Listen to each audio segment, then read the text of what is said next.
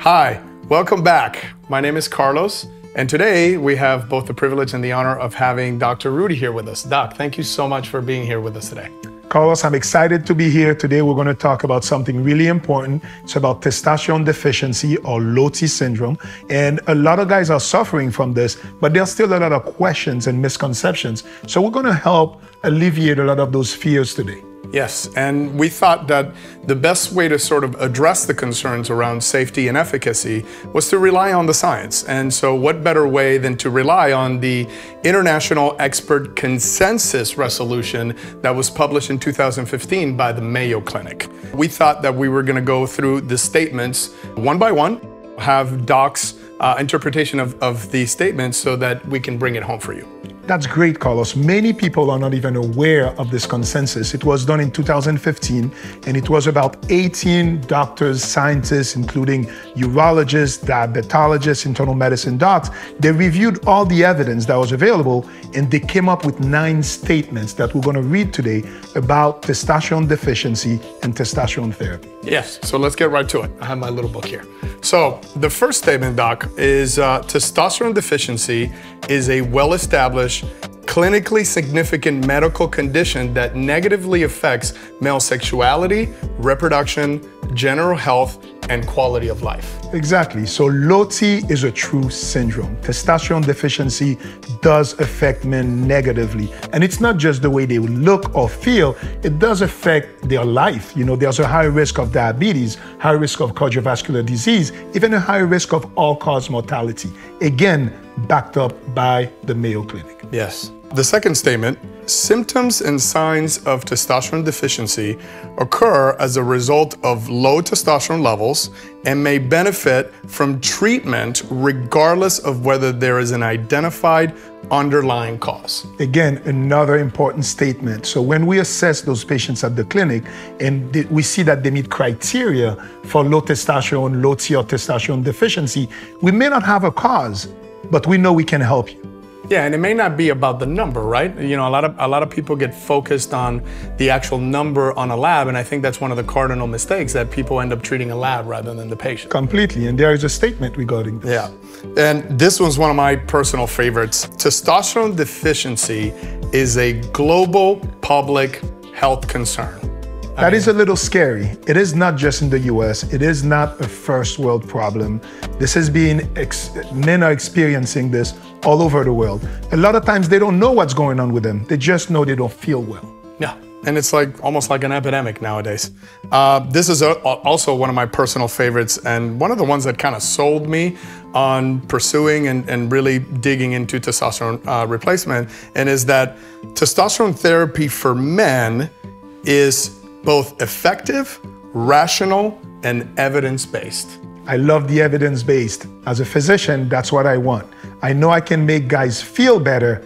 Now it is evidence based. Number five, there is no testosterone concentration threshold that reliably distinguishes those who will respond to treatment from those who will not. So that goes again to your point you were making. It is not a number. Right. So it is a clinical syndrome. So you look at the patient's symptoms and you look at the number and you put those two together. But there is not a reliable number. So you cannot say that if you're at 305, you don't meet criteria. If you're 295, you do meet criteria. Correct. So again, backed by science. Yeah. And listening to the patient. You know, a lot of, you know, you can have almost identical biochemistries and wildly different symptoms. Definitely. You know, that's, a, that's another thing that we see a lot. Number six, there is no scientific basis for any age-specific recommendation against the use of testosterone therapy in men.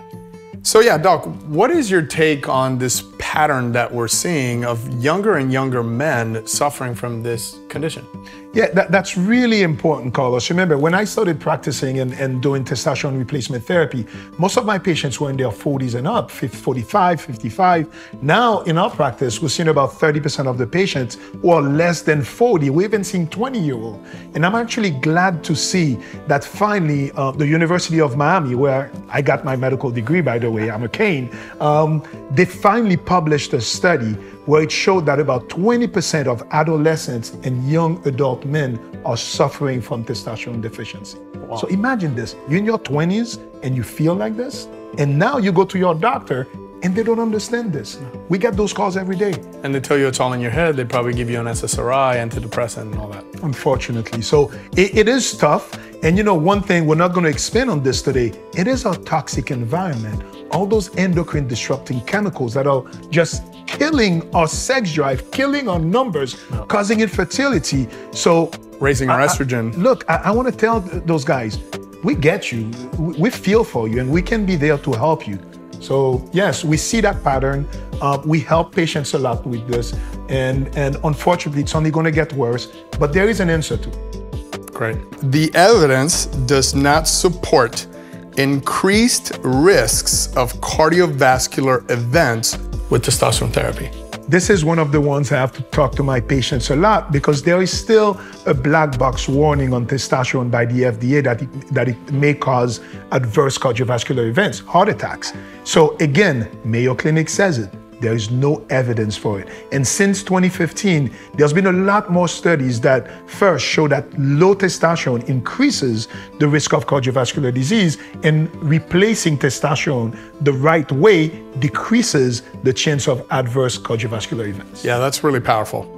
Uh, number eight, the evidence supports a major research initiative to explore possible benefits of testosterone therapy for cardiometabolic disease, including diabetes.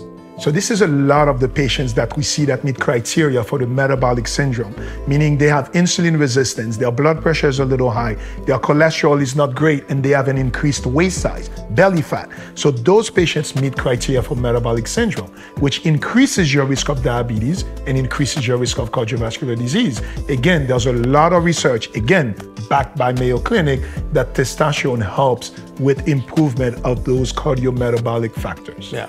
And uh, the last one, and this is a big one, you know, a lot of guys have concern for this. The evidence does not support increased risk of prostate cancer with testosterone therapy. That says it all. This is a big fear that both, again, patients, even physicians who are considering putting patients on testosterone therapy still have the confirmation bias, the old school thinking that testosterone causes prostate cancer. Please don't take it from me. Go and read those statements. Go and look at the evidence.